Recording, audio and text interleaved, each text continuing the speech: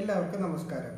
Corona virus അതുപോലെ തന്നെ black fungus white fungus ഷിങ്കല്ല ഇങ്ങനെ ഒരുപാട് രോഗങ്ങൾ ഈ അടുത്തിടെയായിട്ട് നമ്മൾ മലയാളികൾ സ്ഥിരം കേട്ടുകൊണ്ടിരിക്കുകയാണ്. അതിന്റെ കൂട്ടത്തിൽ ഇപ്പോൾ പുതുതായിട്ട് ഒരു വൈറസ് കൂടി എത്തിയിരിക്കുകയാണ് സീക്ക വൈറസ്.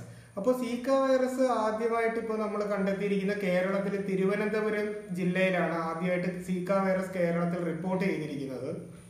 ഇനി ഈ സീക്ക വൈറസിനെ പറ്റി പറയുകയാണെങ്കിൽ ആദ്യമായിട്ട് തന്നെ നമ്മൾ അറിയാനുള്ളത് സീക്ക വൈറസ് ആദ്യമായി ലോകത്ത് റിപ്പോർട്ട് ചെയ്യുന്നത് ഉഗാണ്ട എന്ന രാജ്യത്താണ്. ഉഗാണ്ടയിൽ ആയിരത്തി തൊള്ളായിരത്തി നാൽപ്പത്തി ഏഴിലാണ് ആദ്യമായി സീക്ക വൈറസ് റിപ്പോർട്ട് ചെയ്യുന്നത്. എന്നാൽ ഇത് ഉഗാണ്ടയിലെ മനുഷ്യരിലല്ല ആദ്യമായി കണ്ടെത്തിയത്.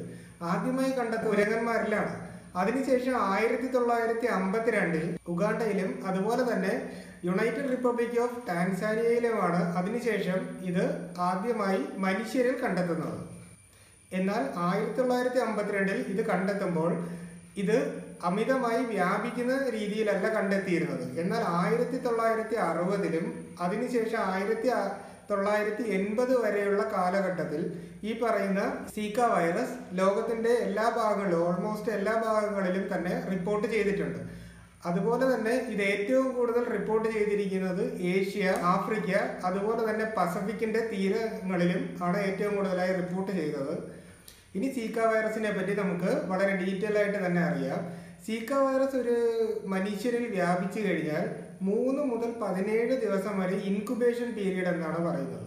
അതായത് വൈറസ് ശരീരത്തിൽ എത്തിക്കഴിഞ്ഞാൽ മൂന്ന് മുതൽ പതിനാല് ദിവസം വരെ രോഗലക്ഷണങ്ങൾ ഒന്നും കാണിക്കില്ല. അതായത് നോർമലി നമ്മുടെ നാട്ടിൽ ഈ ചിക്കൻ ബോക്സ് ഒക്കെ വരുമ്പോൾ ആദ്യത്തെ ദിവസങ്ങളിൽ നമുക്ക് പ്രത്യേക രോഗലക്ഷണങ്ങളൊന്നും കാണില്ല. എന്നാൽ മൂന്ന് മുതൽ പതിനേഴ് ദിവസം വരെ ആകുമ്പോൾ സാധാരണ മനുഷ്യരിൽ കുരുക്കൾ ഉണ്ടാകുന്നു പനി ഉണ്ടാകുന്നു. അതുപോലെ തന്നെയാണ് ഈ സീക്ക വൈറസ് സീക്ക വൈറസ് ഉണ്ടായി കഴിഞ്ഞാൽ രോഗലക്ഷണങ്ങൾ പതിനാല് ദിവസം മൂന്ന് മുതൽ പതിനാല് ദിവസം കഴിയുമ്പോഴാണ് ഉണ്ടാകുന്നത്.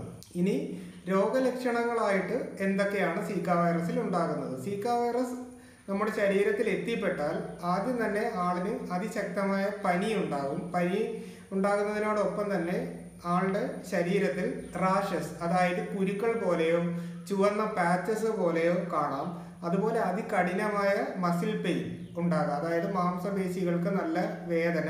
അതിനുശേഷം കാലക്രമേണ ഇത് ജോയിന്റ് സന്ധികളിലേക്ക് ഉണ്ടാകുന്ന പെയിനായിട്ട് മാറുകയാണ് ചെയ്യുന്നത്. അതിനോടൊപ്പം തന്നെ അതികഠിനമായ തലവേദനയും സീക്ക വൈറസിന്റെ ഒരു പ്രധാന ലക്ഷണമാണ്. അതുപോലെ ഈ രോഗം ഉണ്ടായി കഴിഞ്ഞാൽ പേഷ്യന്റിന് ശരീരത്തിന് തളർച്ച അനുഭവപ്പെടാനുള്ള സാധ്യതയും കൂടുതലാണ്. ഇനി സീക്ക വൈറസ് എങ്ങനെ മനുഷ്യനിലേക്ക് എത്തുന്നു എന്നതിനെ പറ്റിയാണ് ഞാൻ പറയുന്നത്. അപ്പോൾ ഇ ഡി സി ഈജിപ്റ്റി വിഭാഗത്തിൽപ്പെട്ട കൊതുകുകളാണ് സാധാരണ ഈ പറയുന്ന സിക്ക വൈറസിനെ മനുഷ്യ ശരീരത്തിലേക്ക് എത്തിക്കുന്നത്. അതുകൊണ്ട് തന്നെ കൊതുക് നശീകരണം ഏറ്റവും ഇമ്പോർട്ടന്റ് ആയിട്ടുള്ള ഒരു കാര്യം തന്നെയാണ് സീക്ക വൈറസിനെ പ്രതിരോധിക്കുന്നതിന്.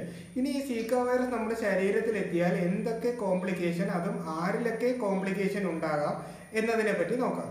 അപ്പോൾ അതിൽ ആദ്യം തന്നെ നമ്മൾ ഗർഭിണികളുടെ കാര്യത്തിലാണ് ഏറ്റവും കൂടുതൽ ശ്രദ്ധിക്കേണ്ടത്.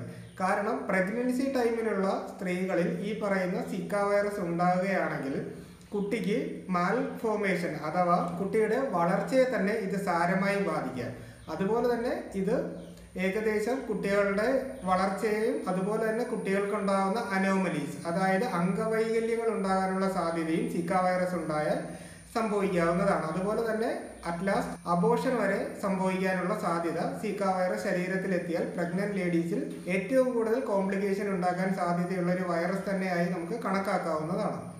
അതുപോലെ ഇത് സാധാരണ കുട്ടികളിലോ മുതിർന്നവരിലോ സിക്ക വൈറസ് പകരുകയാണെന്നുണ്ടെങ്കിൽ അവർക്ക് അതിശക്തമായ മസിൽ പെയിൻ അതായത് മാംസപേശികളിൽ അതികഠിനമായ വേദനയും പിന്നീട് ഇത് സന്ധികളെ ബാധിക്കുന്ന രോഗമായി മാറുകയും ചെയ്യുന്നു. അത്തരത്തിലുള്ള രോഗങ്ങളായിട്ടുള്ള ഗില്ലൻ ബാരി സിൻഡ്രോം അതുപോലെ തന്നെ ന്യൂറോപ്പതീസ് അതുപോലെ മൈലൈറ്റിസ് മുതലായിട്ടുള്ള രോഗങ്ങളായി പരിണമിക്കാനുള്ള സാധ്യതയും വളരെ കൂടുതലാണ്.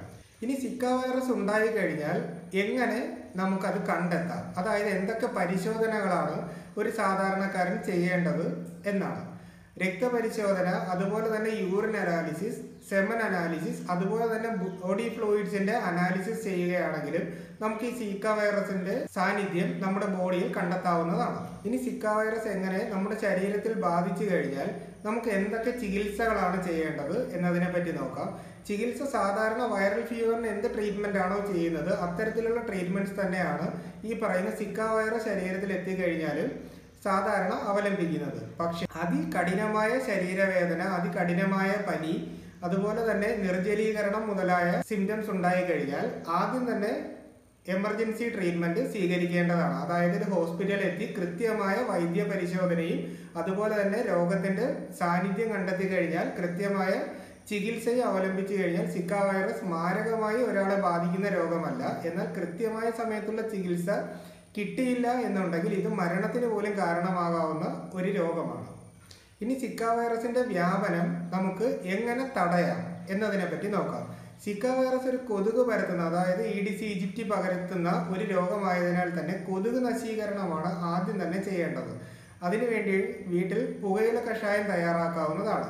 കുറച്ച് പുകയില എടുത്തതിന് ശേഷം രണ്ട് ദിവസം വെള്ളത്തിലിട്ട് വെക്കുക. വെള്ളത്തിലിട്ട് വെച്ചതിന് ശേഷം ഇതിനെ നന്നായി ചൂടാക്കി അത് തിളപ്പിച്ചതിന് ശേഷം വീടിന് ചുറ്റും വെള്ളം കെട്ടി നിൽക്കുന്ന ഭാഗങ്ങളിലെല്ലാം തളിക്കുകയാണെങ്കിൽ ഈ പറഞ്ഞ കൊതുകിനെ നമുക്കൊരു പരിധിവരെ കൺട്രോൾ ചെയ്യാൻ പറ്റുകയും അതുപോലെ തന്നെ സിക്ക വൈറസിന്റെ വ്യാപനം നമുക്ക് തടയാവുന്നതുമാണ്. അതുപോലെ മഴക്കാല രോഗങ്ങൾ ഉണ്ടാകുന്നതിന് പ്രധാന കാരണം ഈ പറഞ്ഞതുപോലെ വെള്ളം കെട്ടി നിൽക്കുക ചിരട്ടയിലോ മറ്റ് പാത്രങ്ങളിലോ വെള്ളം കെട്ടി നിൽക്കാനുള്ള സാധ്യതയുണ്ടെങ്കിൽ അതെല്ലാം നമ്മൾ എടുത്ത് കളയുകയാണെന്നുണ്ടെങ്കിൽ അതായത് വെള്ളം കെട്ടി നിൽക്കാൻ അനുവദിക്കുന്നില്ല എന്നുണ്ടെങ്കിൽ ഈ പറഞ്ഞതുപോലെ സിക്ക വൈറസിനെയും ഈ പറഞ്ഞ ഇ ഡി സി ഈജിപ്റ്റിയെയും നമുക്ക് കൺട്രോൾ ചെയ്യാവുന്നതാണ്. അതുപോലെ തന്നെ ആയുർവേദ വിധി പ്രകാരം അപരാജിത ധൂമം എന്നൊരു ധൂമചൂർണം അതായത് വീട്ടിൽ വൈകുന്നേരങ്ങളിൽ പോയിക്കാൻ പറ്റുന്ന അപരാജിത ധൂമം എല്ലാ ആയുർവേദ കടകളിലും അവൈലബിൾ ആണ്. അപ്പോൾ അവിടെ നമ്മൾ വാങ്ങിക്കഴിഞ്ഞാൽ ഇത് വൈകുന്നേരം വീട്ടിൽ പുകച്ചു കഴിഞ്ഞാൽ നമുക്ക് നോർമലി കൊതുക് എത്തുന്ന അതായത് വൈകുന്നേരത്ത് എത്തുന്ന ടൈമിൽ തന്നെയാണ് ചെയ്യുന്നതെന്നുണ്ടെങ്കിൽ നമുക്ക് ഈ കൊതുകിനെ കൺട്രോൾ ചെയ്യാം അതുപോലെ തന്നെ സിക്ക വൈറസിന്റെ വ്യാപനവും തടയാം അതുകൊണ്ട് തന്നെ നമുക്ക് സാധാരണ പറയും പോലെ ജാഗ്രത തന്നെയാണ് ഈ സീക്ക വൈറസിനെതിരെയും നമ്മൾ ചെയ്യേണ്ടത്. കൃത്യമായ ജാഗ്രതയും അതുപോലെ കൊതുകിനെ വീട്ടിൽ നിന്ന് അകറ്റി നിർത്താൻ പറ്റുകയാണെങ്കിൽ സിക്ക വൈറസിന്റെ വ്യാപനം നമുക്ക് പൂർണമായും കൺട്രോൾ ചെയ്യാവുന്നതാണ്. അതുപോലെ തന്നെ സിക്ക വൈറസ് ശരീരത്തിൽ എത്തിക്കഴിഞ്ഞാൽ കൃത്യമായ വൈദ്യ പരിശോധനയും അതിനോടൊപ്പം തന്നെ കൃത്യമായ ചികിത്സയും ലഭ്യമാകുന്നുണ്ടെങ്കിൽ സിക്ക വൈറസിനെ പൂർണമായി നമുക്ക് പ്രതിരോധിക്കാൻ പറ്റുന്നതുമാണ്. അപ്പോൾ സിക്ക വൈറസ് എന്താണെന്ന് എല്ലാവർക്കും മനസ്സിലായി എന്ന് ഞാൻ കരുതുകയാണ്. ഇതുപോലെ പുതിയ വിഷയങ്ങളുമായി ഉടൻ തന്നെ നിങ്ങളുടെ മുന്നിലേക്ക് പുതിയൊരു വീഡിയോയുമായി ഞാൻ എത്തുന്നതാണ്. അപ്പോൾ എല്ലാവർക്കും നമസ്കാരം. എല്ലാവരും ജാഗ്രതയായി ഇരിക്കുക. സിക്ക വൈറസിനെ നമുക്ക് ഒന്നിച്ച് നേരിടാം